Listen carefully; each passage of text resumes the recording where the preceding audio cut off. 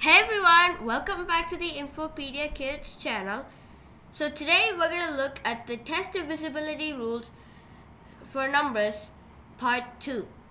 So if you haven't checked out our previous video, it was the divisibility rules for numbers from numbers 2 to 5. So now this is the this is the continuation. So we're going to do for numbers from 6 to 11.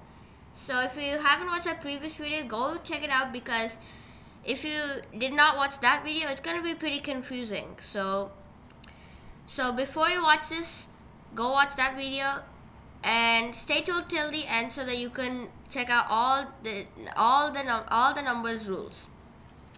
So let's start from where we left off. We left off from the number 5. So let's start with the divisibility rule for the number 6. So, to check whether a number is divisible by 6 or not, we need to check if the number is first divisible by both 3 and 2. If the number is divisible by both 3 and 2, then yeah, it's it's divisible. But if it's not divisible by either one of them, then the number is not divisible. So, let's look at an example we have 832,872. So, uh, as you can see in the units place we have 2 which means the number is divisible by 2 and let's check if it's divisible by 3 so let's add up all the face values. So we have 8 plus 3 plus 2 plus 8 plus 7 plus 2 which is equal to 30 you can do the addition in a notebook if you want, or you can just follow along with me. So we'll get the result as 30, and 30 is divisible by 3. So that means that 832,872 is divisible by both 3 and 2, which means that it's also divisible by 6. So now let's look at a few sums. I'll just get out my type. So now let's look at a few sums. So as you can see, this is where this is what uh, we've completed. So here are our sums. We have six, 65,812. So first let's check if it's divisible by 2. We have 2 in the units place. So that means that 65,812 is divisible by 2. So now let's check if it's divisible by 3. To check if it's divisible by 3, we should add up all the digits values. So we have 6 plus, oops, plus 5, which is 11, plus 8, oops, 8, which is 19, plus 1, which is 20, plus 2, which is equal to 22. So 22 is not divisible by 3. That means that 65,812 is, oops, is also not divisible, yeah, also not divisible by 3. So that means that it's also not divisible by 6. So 65,812 is not divisible by 6. So you can follow along with me or you can listen if it's too tough for you. So next we have 55,627. So clearly 7 is in the units place which means that the number is not divisible by 2. So 55,627 is not divisible by 2. So it is also not divisible by 6. Remember, a number has to be divisible by both 3 and 2 if we want it to be divisible by 6. So now let's look at the rule, the divisibility rule for the number 7. So to check whether a number is divisible by 7 or not, we have to check the units place digit and multiply that digit by 2. So next we should subtract the, the uh, product from the remaining number.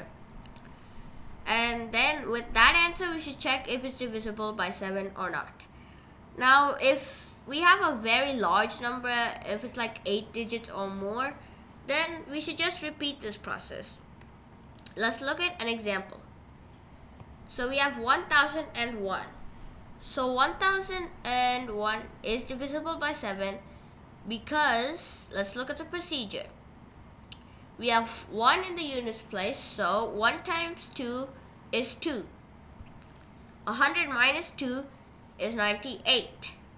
So we have 98 as our answer. You can stop with this or you can go even further and repeat this process more. Let's repeat this process one more time. So 8 times 2 we have 16. So this time let's subtract 9 from 16 which we get the uh, result as 7.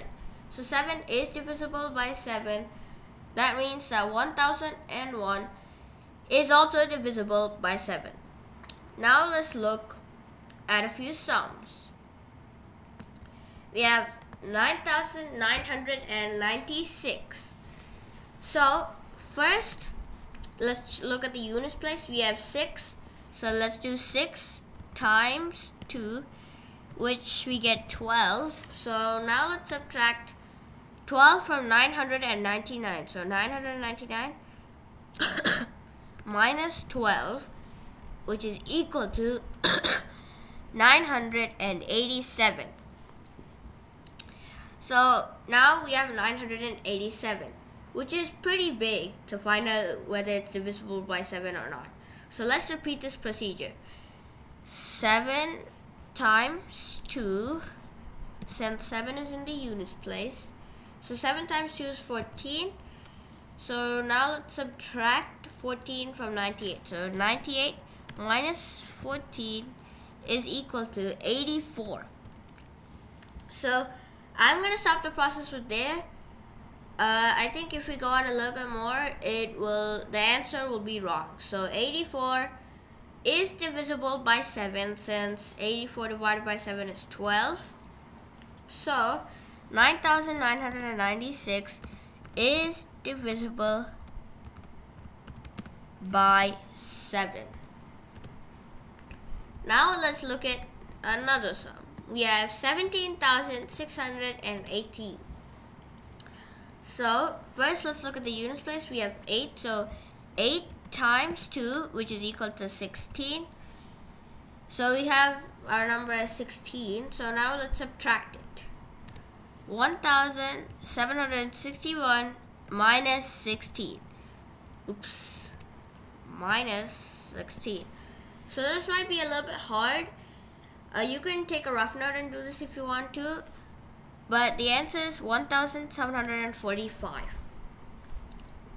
So now let's repeat this procedure a few more times. So let's do 5 times 2 which is equal to 10.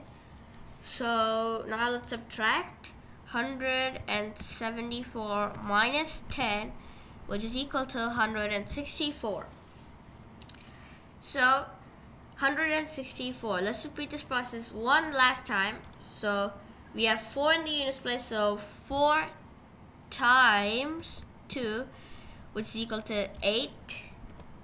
So now let's subtract 8 from 16. So 16 minus 8, which is, oops, 16 minus 8, which is equal to 8. So 8 is not divisible by 7.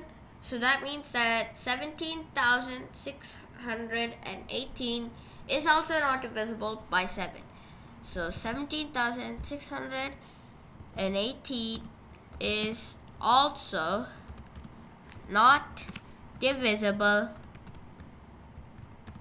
Oops.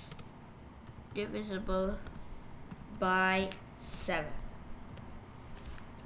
so now let's look at the divisibility rule for the number 8. So to check if a number is divisible by 8 or not, we should check the hundreds the tens and the units place digits. If the number in those three places is divisible by 8, then the whole number is divisible by 8. But if the number is not divisible by 8 in the first three places, then the whole number, the given number is also not divisible by 8. Let's look at an example. We have 2,873,200. So we have 200 in the hundreds, tens, and units place. So 200 divided by 8 is 25. So we have no reminder, that means 200 is divisible by 8. So that means that 2,873,200 is also divisible by 8. Now let's look at a few sums. We have 273,656. So in the hundreds, tens, and units place, we have 656. So you can do the division in a rough note. You can go ahead and pause it. So let's do divided by 8. So we get the answer as, let's see, first let's divide 56 by 8. We get 7. Next 600 divided by 8. We get 75. So now let's add them. 75 plus 7 is equal to 82. So we have 82 as our answer without any reminders. So 656 is divisible by 8. So 273,656 is also divisible by 8. Now let's look at another sum. We have 545,439. So we have 439 in the play in the first three places. So divided by 8. So there will be a reminder if we divide. We'll get the answer as 54 sorry not 54 50 58 reminder 7 or something like that. 58 reminder 7 we'll get some answer like that but there will definitely be a reminder. So that means that 439 is not divisible by 8 so five, 545,439 is also not divisible by 8 oops. So now let's look at another sum. I mean, now let's look at the test divisibility rule for the number 9. So this is very similar to the divisibility rule for the number 3. It's in our previous video. If you haven't watched it, go ahead and check it out. We just have to add all the face values of the whole number.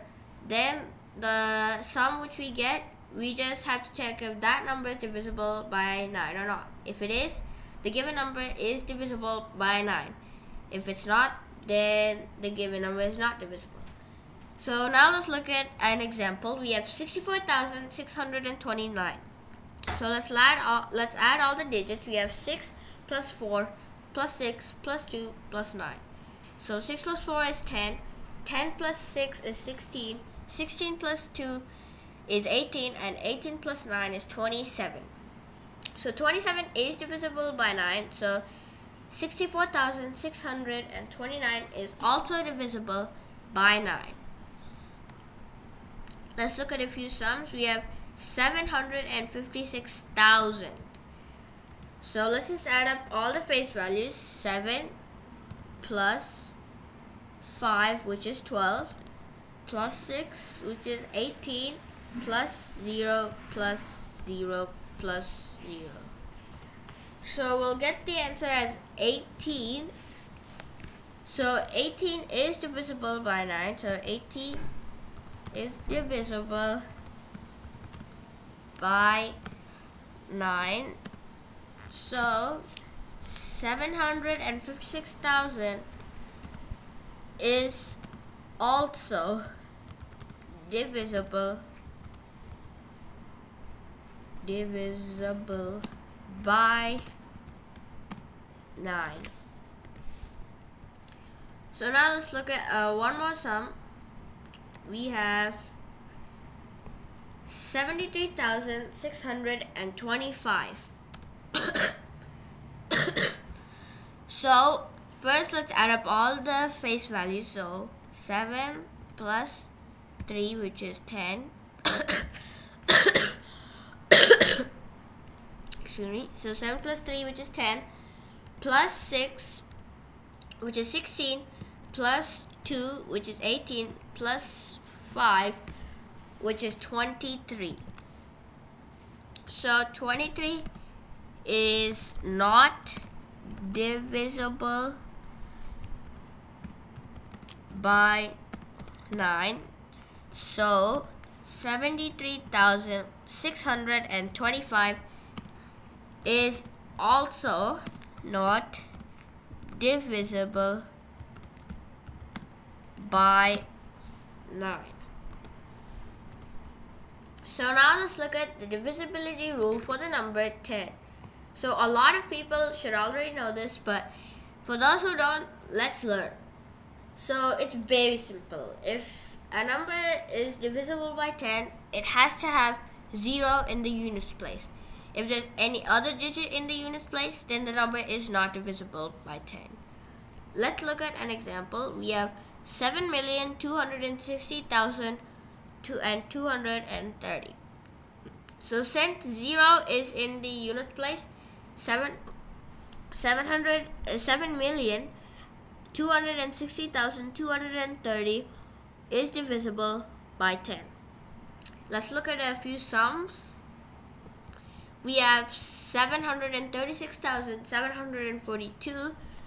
so 2 is in the units place, which means that 700, oops, 2 is in the units place, units place. So 736,742 is not divisible by 10. So now let's look at another sum. We have 75 million 686,560. So very simple, just like last time.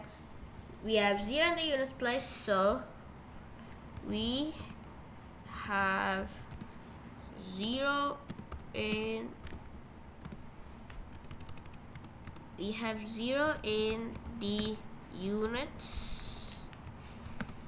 Place so 75 million 686,560 is divisible by 10 so now let's look at our final number which is 11 the divisibility rule for 11 so this might be a little bit hard, but I hope you can follow along. I'm going to try to make it look as easy as possible. So to check whether a number is divisible by 11 or not, we have to sum up all the digits in the odd places and we also have to sum up all the digits in the even places and then we have to find their difference. So if the difference is divisible by 11, then the whole number is divisible by 11. If the difference is not divisible by 11, then the whole number is not divisible by 11. So let's look at an example to make us more clear. So we have 1,527,141. So you may be wondering why the digits are in different colors. Well, that's to indicate the different kinds of places, the odd and even places. Yellow is odd, and blue is even. So let's sum them up. So let's first sum up the odd places. So we have 1 plus 1 plus 2 plus 1 which is 5. Now the even places we have 4 plus 7 which is 11. 11 plus 5 which is 16. So now let's find the difference. So 16 minus 5 is 11. so that means that so 11 is divisible by 11. So 1,527,141 is also divisible by 11. So now let's look at a few sums. We have 1,561,208. So first, let's sum up all the odd places. So the odd places are these 8, 2, 6, and 1. So 8 plus 2 plus 6 plus 1 which is equal to 8 plus 2 is 10 10 plus 6 is 16 16 plus 1 is 17 so now let's find the even the even places. We have 0 1 and 5 so 0 plus 1 plus 5 which is equal to 6 so now let's find the difference. 17 minus 6 is equal to 11. And again, 11 is divisible by 11. 11 is divisible by 11. So, 1,561,208 is also divisible oops, divisible by 11. So, so now let's look at one last sum of the day. We have six million four hundred and sixty-five thousand six hundred and fifty-four. So just like last time, let's sum up the odd places. We have four, six, six, and six. So four plus 6 plus 6 plus 6 which is equal to 4 plus 6 is equal to 10 10 plus 6 is 16 16 plus 6 is 22 so we have 22 so now let's sum up the even places. We have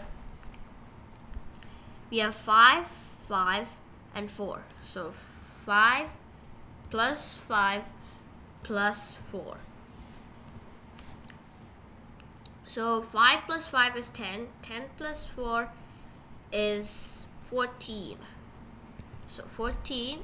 So now let's find the difference. We have 22 minus 14 which is equal to 8. So 8 is not divisible by 11. So 8 is not divisible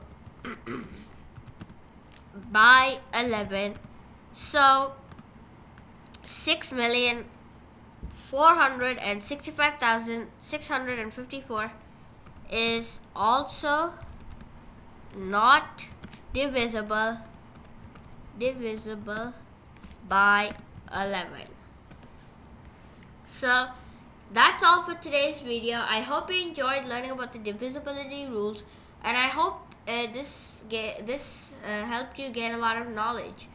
So stay tuned for more of my videos, subscribe if, and if you like the video, give a big thumbs up and thanks for watching everybody. I'll see you in the next video. Bye bye.